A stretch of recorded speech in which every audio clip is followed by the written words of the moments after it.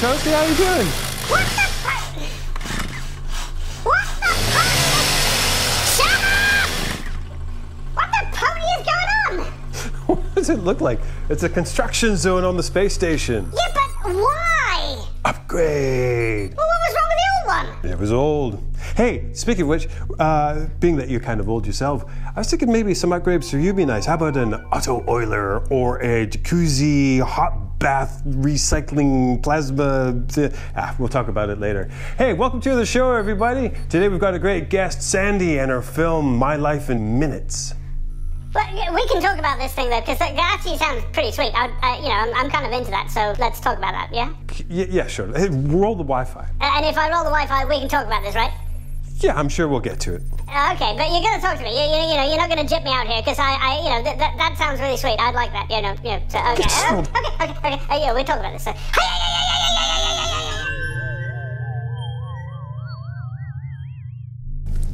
It is my pleasure to welcome to the show Sandy Wilson, award winning writer and director, well known for her film My American Cousin. Today we're going to talk about the Crazy Eights film in year 2000 called My Life in Eight Minutes. And I have to ask straight off the top could you add eight more minutes? Actually, I couldn't fit it into eight minutes, and so I think I changed the title to My Life in a Few Minutes because it wound up going about nine and a half minutes or so. What did it? Yeah, ran it was over? really hard. It's hard to edit your life. Tell us about the film. What was the experience like? And, and so welcome to have you. So, yeah, Paul Armstrong asked me if I wanted to get involved, uh, and Andrew Williamson asked me if I wanted to do something for the Crazy Eights Film Festival, and it really appealed to me. And um, I've always kind of um, been interested in family, especially me and my own family. Oh, why is that? I think it's maybe because when I was a kid growing up at Paradise Ranch, we were at the end of the dirt road and there was no television or telephone or anything like that. But my dad shot home movies. So I was kind of used to watching uh, home movies. So it just seemed like natural to make movies about my family. Oh. And so when Crazy Eights came along, it came shortly after my mom died. And I felt like the rug had been completely pulled out from underneath me, and uh, it would be a good time to uh, reassess my life and just sort of think, hmm, where have I been and where am I going? Which I had no idea what I, where I was going. Um, so that was kind of the impetus, and I wrote a little script weaving around dreams about being a mermaid and, you know, always searching for something and uh, you know success and failure mm-hmm. how they're a little bit the same you know different sides of the same coin Isn't that true? Mm. yeah so it was kind of a an opportunity to do a little therapy via filmmaking That's mm-hmm. fantastic. yeah it was What was the process like? So you told us about that. But you, I understand it was only eight days. The format was a little Oh. bit different then. Oh, it was a nightmare. it was a freaking nightmare. It was really, really difficult because the eight days happened to fall on the one week out of the year that I was teaching a teenage film class at the Vancouver Film School. And so I'd be dealing with the kids in the daytime and then trying to get the movie together uh, in the evenings. And uh, because I wanted to go up to Lake Okanagan and pretend I was a mermaid swimming in the lake, uh, I talked uh, WestJet into giving us a couple of uh, airline tickets, and we flew up to Kelowna. And then my friend picked us up in a boat, and we went back to the ranch. I put on my little mermaid outfit, there lying on the beach, and then um, you know had to come back and teach teenage film school the next day. I was it was just That is and fantastic. Yeah, it was crazy. It was crazy, but it was an awful lot of fun. I bet. Yeah. I bet. Did you no sleeping? Not much sleep. Yeah. Not much sleep. Uh, yeah, and a lot of worry. And um, my costume, which I had sewed myself, you know, because of the $800 restriction on, you know, what you spent, I didn't realize that the fabric, when it got wet, would just sort of stretch and go kind of all globby. so it was kind So how'd that of, anyway, unforeseen circumstances, you know. That's Yeah. amazing. Yeah, it was fun. It sounds like a lot of fun. And so it all came together though in the end. It did. Yeah. I yeah, we got uh, we had the opportunity to shoot in my brother's swimming pool in West Vancouver, so that was lots of fun, and it was on a nice day. That's helpful. So uh, yeah, It happens at a good time of the year then. yeah, Yeah, Yeah. weather-wise. Yes. Whichever crazy eights in January. yeah. And uh, again, it gave me an opportunity to live out a little dream. You know that I'm a mer- that I'm really a mermaid. Like this is really a space station. It really is. I have a This badge to prove it, and and? See, it's, it's, it's right there. Yeah. My name's on it I and everything. see. Oh, sort of like once it's in really print, it's real, right? That's right. Yeah, yeah. That's so once right. it's embroidered on your head and covering another corporate name that I can't mention, it's um yeah. Yeah, Once there glue you it on. It's, it's real. Well, I've still got my mermaid fin. Really? Mm-hmm. We should go swimming sometime. Mm-hmm. Mm-hmm. I'll just make. A pool in the back. Oh, oh, Toasty, make a pool. and he will, and they.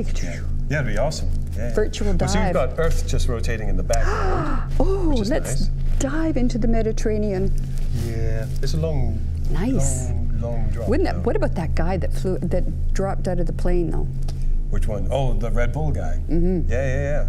What did uh, Neil deGrasse Tyson say? He says, "Yeah, that's really impressive. It's sort of like falling a millimeter on a tennis ball." Hmm. They're like, "Oh, okay, that's perspective." Hmm. Hmm. so, yeah, okay. Well, let's watch your film, My Life in Eight Minutes. Toasty, roll that Wi-Fi. Pop it up.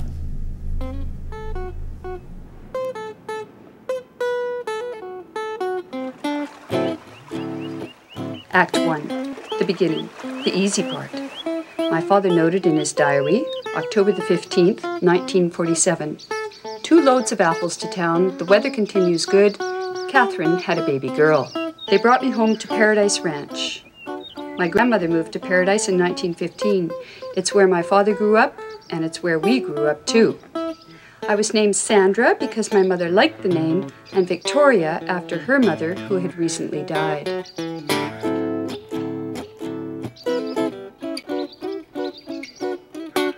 I guess you were the one who really was most just yourself, refusing to smile at Granny. Does that child never smile? My children all smiled. My children all had curly hair. My grandmother was a storyteller. She kept two human skulls in her basement. She said there were warriors in our family. My father warned me, Oh, Sandra, I'm afraid you come from a long line of strong women. Things won't be easy for you.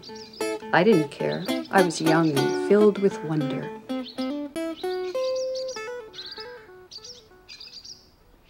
On my first day of school, there was another girl in grade one named Sandra, and Mrs. Kennedy pointed at me and said, You will be Sandy, and she will be Sandra, so there won't be any confusion. But I was confused. I adapted to my new name, Sandy. We played in the lake all summer long. I was a mermaid, at home beneath the surface. I wanted to be friends with Ogopogo. In my dreams, I would discover heaps of treasure, and then the big fish would come along, and I'd have to make my escape. I could only take the amount of treasure I could carry with me on my person.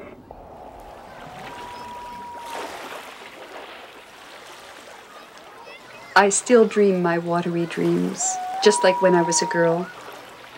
It was a heavenly time. We were blessed, and I was busy. I was going to be a teacher, like my dad, until I discovered boys and rock and roll. I wanted to be Calamity Jane, Doris Day, the country girl who cleans up beautifully in the big city, riding the range and going to fancy dances in town every night. I wanted to sing and dance and tell stories and live in New York City as a glamorous only child with parents who really loved me and took me out all the time. Instead, I was stranded on the shores of Lake Okanagan with three brothers, two sisters, weird parents, and the first Volkswagen in the valley. I was a cheerleader and the social convener at school. I stopped speaking to my family.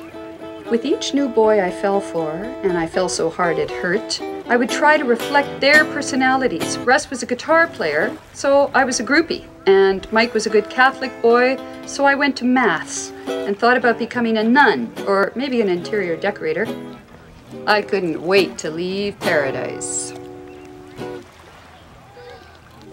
For my last year of high school, I was shipped off to a Catholic girls' boarding school. One night, I got dressed up as a nun and we took this photograph. I was going to send it to Mike, but he got married to Anne and I was left with a broken heart and this photograph.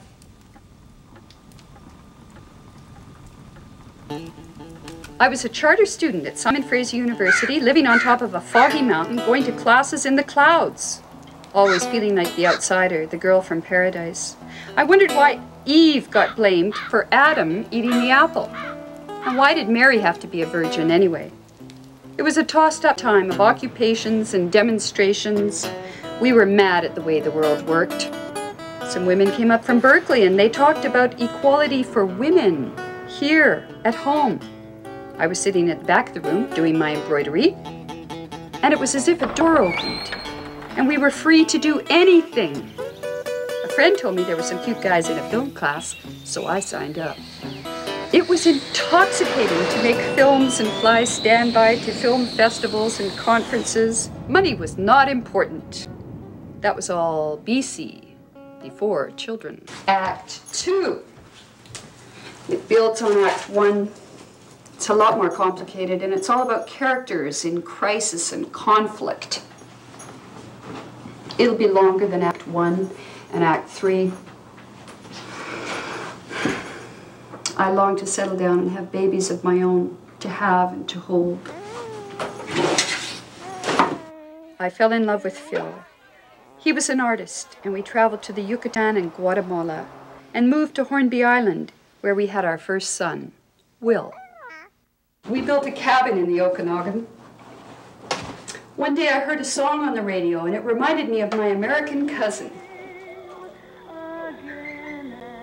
I could see the movie, so I started writing the script.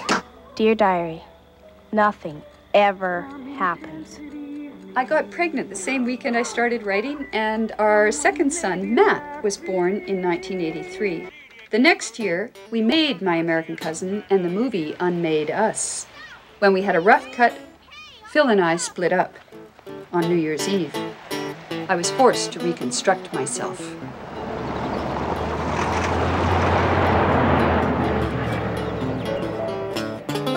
When tossed about on life's stormy seas, it's always been the women in my life who threw out the lifeline. My aunts, my sisters, my mother, loan officers at Vancity Saving, and my gal pals. Sandra. As you get older, you'll see. Boys are like buses. If you miss one, another one will be along before you know it. Without them, I might have drowned. But I didn't. I felt the hand of those strong women and ancient warriors. And after a year in dark editing rooms, we leapt into the spotlight. And the winner for Best Director is. That? Sandy Wilson, my American cousin.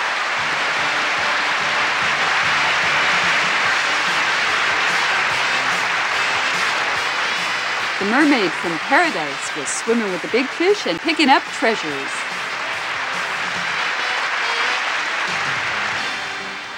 There's magic in the movies. We can give shape to our memories, to our dreams. We can live forever on the silver screen or on the digital tape. We can reach out from our hearts, tell our own stories, and reach millions of strangers all over the world in dark theaters. I know. I've been to Moscow, where they turn the sound way down. There's one actor at the back of the room, and he translates all the lines.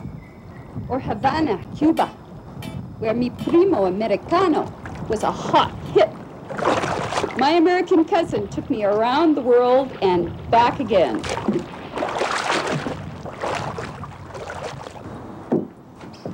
It was exhausting. Not to worry, didn't last long. The sequel was doomed, and I felt like a woman about to deliver a stillborn baby. Set adrift, and suddenly sandwiched between a father with Alzheimer's and two teenage sons who needed a parent.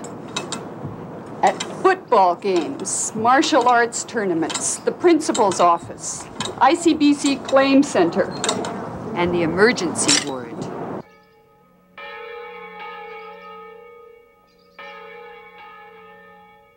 My father died in 1992. I gave his eulogy. I had to rehearse it so I wouldn't cry. My mother said she was never going to remarry again. No, all that fussing over supper, why bother? She said she was better off on her own, and I agreed with her completely. And then, two years later, she married Jack Riley, and I got to be the social convener and the cheerleader. It was wonderful. The boys are leaving home slowly. Jack died two years ago, and my mother died a year later, on December the 31st, 1999. She came to me in my mermaid dreams, asked me to let her go, and said goodbye the night after she died. Act three. Act three is the toughest one to write. You've got to sum everything up. Everything has to make perfect sense. It's very difficult to write your own third act. Besides, I favor multiple endings. I don't know what the future holds, but this is how my life looks today. There are a few details missing or glossed over, but uh, we wanted to get all our credits in.